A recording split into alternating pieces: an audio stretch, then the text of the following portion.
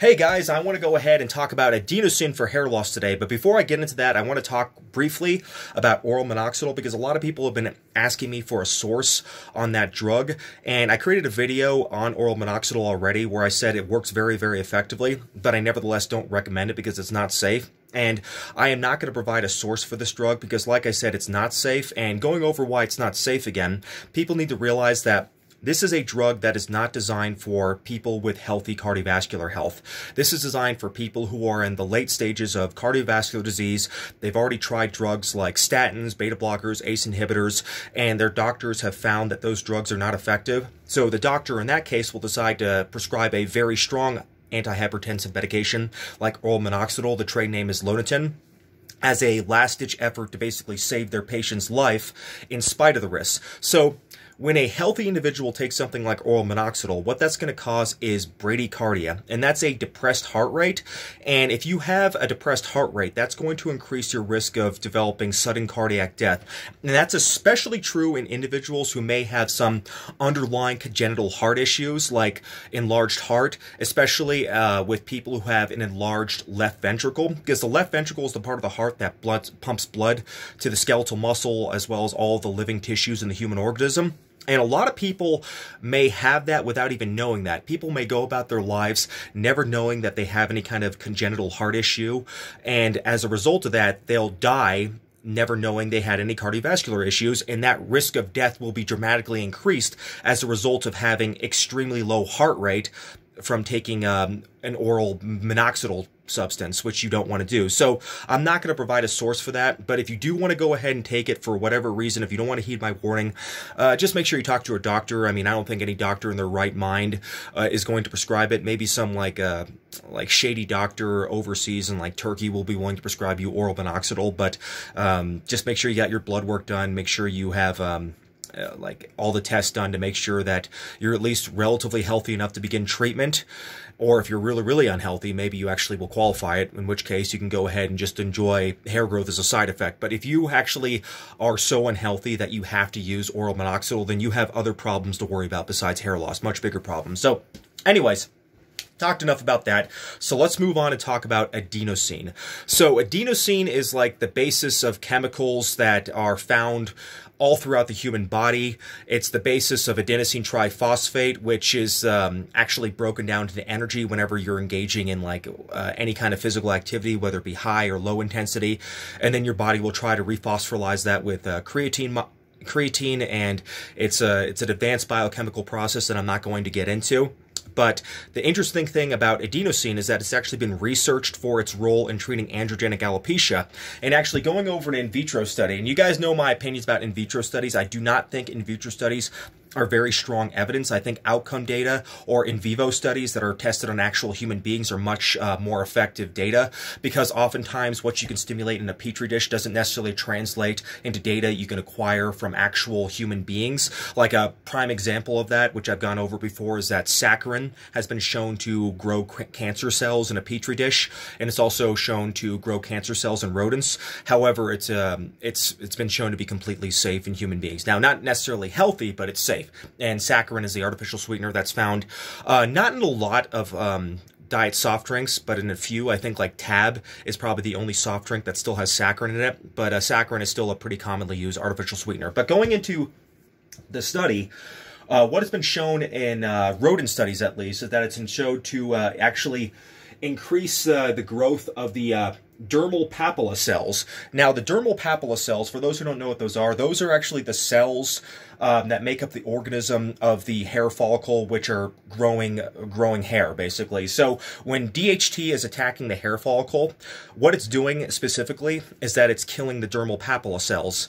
And the, when the dermal papilla cells die, the hair follicle dies, and then you're you're bald. So that's what you're trying to avoid with male pattern baldness. So in the case of something like finasteride, you're preventing um, the dermal papilla cells from getting killed uh, to begin with. But when you're using a hair growth stimulant like minoxidil, then you're promoting the growth of the cells that DHT is trying to destroy. And that's how they work differently. And that's also why they can be used in conjunction with each other. Now, it's been shown that even though they do increase the growth of dermal papilla cells, it hasn't been shown to be as effective as minoxidil, and not even 2% minoxidil. So forget about 5% minoxidil. So, um, who would want to use this drug? And I guess people who are allergic to minoxidil may want to use it. And as far as my own experience with adenosine, it's been around for a long time. In fact, I first used it even before I used um, uh, minoxidil. And I used a lot of other stuff back then. I used like uh, oral saw palmetto. I used oral stinging nettles. I used uh, laser hair treatment. And for the laser hair treatment, I went to actually a clinic where like they had this like really, really advanced looking uh, like helmet that they put on your head. And it was like really expensive. I, I went in for multiple sessions for over several months.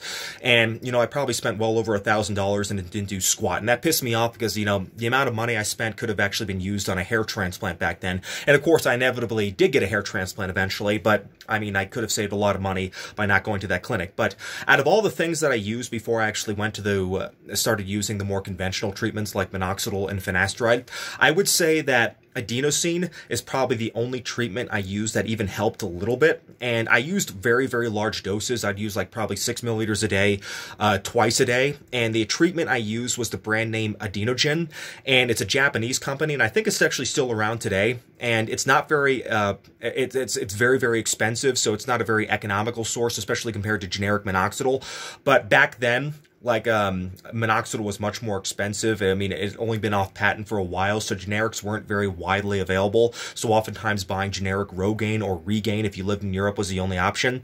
So from a cost perspective, back then it was about the same as minoxidil. But anyways, I'd use it and um, that was probably the only thing I used where I noticed any results at all. So I was losing a lot of hair on the temples. I was already a Norwood 3 by the time I started using it. And I was also use, losing hair on the crown. And that was the only thing I think that stopped shedding even a little bit. And I don't think it was strong enough that I actually got any regrowth, but it did noticeably slow down my hair loss. So I'm grateful that I used it. I mean, I regret not going on conventional treatments earlier. So at the very least, it does work a little bit. It's not very effective, but you know, you got to give a shout out to anything that works at all because, you know, we're talking about probably the biggest scam industry that has ever existed. And the last time I used it just for experimental purposes was about a year ago. And I know the company Adenogen still exists and, you know, their products are very expensive.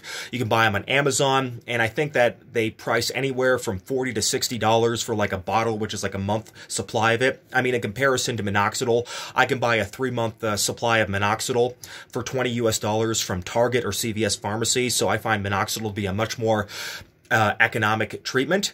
Um, However, um, you know, a lot of people may be allergic to minoxidil, so they may not be able to use minoxidil. But even if you are allergic to minoxidil, I still think there are better hair growth stimulants out there than adenosine. You can use stemoxydine, and stemoxydine actually works in a really weird way. It st stimulates a hypoxic environment on the scalp, and that somehow promotes hair growth.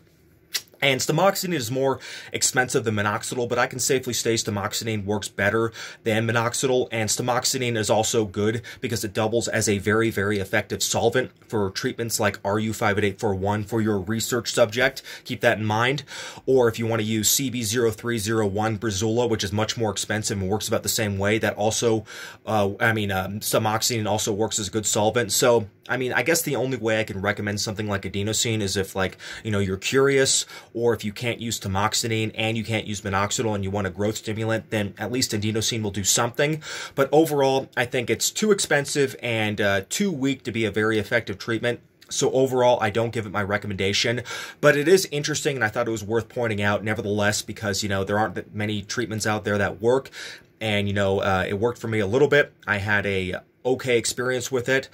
However, in retrospect, I probably should have just started on finasteride first. You know, I actually started with minoxidil first. That was the first um, conventional treatment I used, and that was much more effective. And in fact, uh, minoxidil was good even as a standalone treatment for a few years, but you know, just keep in mind that no matter what kind of treatment you choose, you're going to have to do something about the DHT eventually. So a hair growth stimulant isn't good enough as a standalone um, treatment for androgenic alopecia because you know even if you're promoting the growth of the uh, dermal dermal papilla cells, uh, you're still going to have the DHT eating away at your scalp, and eventually that's going to not be offset by any kind of hair growth stimulant you're using. So, um, finasteride should definitely be your first choice. And you know if that's not working out well enough after six months, then consider using a hair growth stimulant.